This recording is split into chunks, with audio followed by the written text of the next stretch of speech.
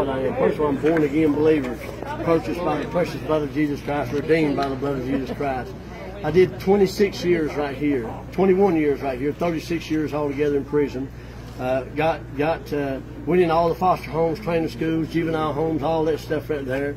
Come here at 16 years old, guilty of sin. Had a murder charge, had a two dollar armed robbery charge. Guilty, guilty, guilty. Deserved every day that I done. Wicked. The Bible talks about in Jeremiah, man's heart is wicked and deceitful above all things and desperately wicked. That was me and even beyond that. Paul said, This is the faithful saying, worthy of all acceptation that Christ Jesus came in the world to save sinners, of whom I am chief. I was, I beg the pardon, I was the chief of the chief. But I say all that, and then I did all those years here, wicked murder charges, all that, and drugs and all that, went down all those, all those wicked valleys, going through all that stuff.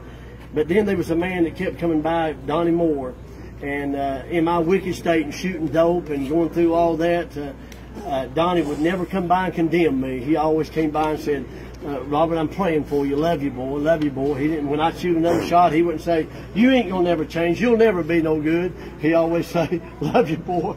Praying yeah. for you. There's hope for you." But then, for eight calendar years, this man kept coming by. Eight years later, that same Jesus he was trying to introduce to me along the way, right there in the second cell on this little wall. Holy Ghost of God followed me. I, I did seven years in solitary confinement. Wicked in this prison. I was who, what my flesh was. And I thought I'd be here the rest of my life. But the Holy Ghost of God got hold of me one night went to a little church service. Old Donnie said, maybe someone here tonight under Holy Ghost conviction. And it takes, look here, it's not no new Holy Ghost. it's an old back home country cornbread fed Holy Ghost. That's the one that does the work.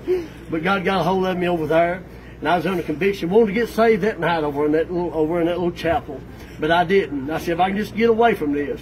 On the way out that night, he said, I pray tonight, if you're under conviction, you get back to your cell there, you don't sleep a wink. What little did I know, that was me. I didn't sleep a wink, I flip and flop all night. Guess who was here the next morning, had no business here? Donnie Moore. He said, Robert, I didn't sleep either. he come to me. He said, you won't get... Now see, God didn't have to follow me all night. He didn't have to stay with. He said, "My spirit will not always strive with man." I took an opportunity and took my life in my own hand. God didn't have to say, "I'll give you another chance to be saved." They stayed with me all night, let me flip and flop and cry like a baby, an old grown man. And then the next morning, old Donnie come and said, Robert, Spirit bears witness with the Spirit. You want Jesus? I said, oh, yes, I do. I got down January the 5th, 1988, right there in that little prison cell. I like the old man in the Bible. Lord, be merciful to me, a sinner. I didn't pray no prayer to no preacher. I didn't trust in no preacher. I didn't trust in Robert Gibson. I trusted in one man. His name is Jesus. Never been the same since. And you say, well, how'd you get out of prison with 99 years, two 40 tens? Can I go back to this? His name is Jesus. I didn't deserve it. Didn't go through no channels. Didn't, didn't try to get out. Wasn't doing nothing. Except one day they come and said, guess what? You're going home. And my Jesus, I want to say to everyone listening here today, if you've got somebody you've been praying for, they own drugs, they own alcohol, you've given up on them, they went down that dark valley, you've tried to help them and they've cheated, they've lied to you, they went back down that road again. Can I say, there's a man named Jesus that if you just keep on praying, he'll change that life. He did it for me, glory to God. He saved the worst of the worst, and that's just a no sinner. Can I say to you today, there's a man named Jesus that loves you. You are somebody.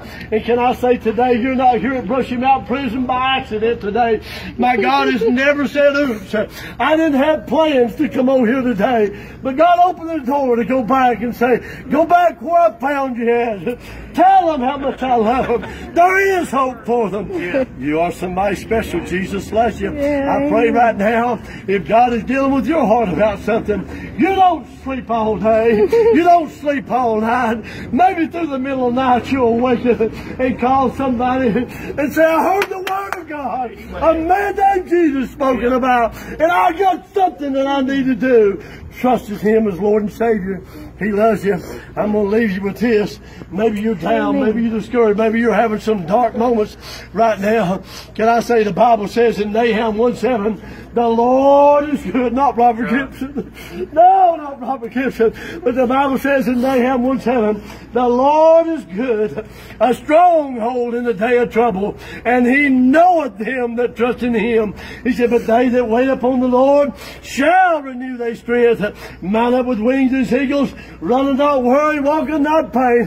The Bible says over here in Jeremiah I mean, not Jeremiah, Isaiah 3, 4, 3 and 2. He said, when thou passest through the waters, God said there's going to be some times you feel like you're being consumed. You're going under, but when thou passest through the waters, I will be with thee. When thy father and thy mother forsake me, the Lord will take thee up. When thou passest through the waters, I will be with thee. And through the rivers, they shall not overflow thee. When thou walkest through the fire, shall not burn thee. Neither shall the flame kindle up on thee. And he says over there in, Isaiah 43 and 2, not 43 and 2, but Isaiah 43 and 1, uh, 1, he said, They that wait upon the Lord shall renew their strength. Yeah. Mount up with wings as eagles, running not worrying, not walking not pain. Just in case today you don't know God's phone number, I want to give it to you. You can dial him up 2424 over in Jeremiah 33 and 3. He says, call unto me. He didn't say call the preacher. Oh, you say, call, mama. He said, call unto me, and I will answer thee, and show thee great and mighty things which I knoweth not. Jesus bless you. Glory to God. I can't help it. Got born again one day. And can I tell you, like I've told them all day, if you still is what you was, you ain't. Amen. Amen. God bless you. Yeah, amen.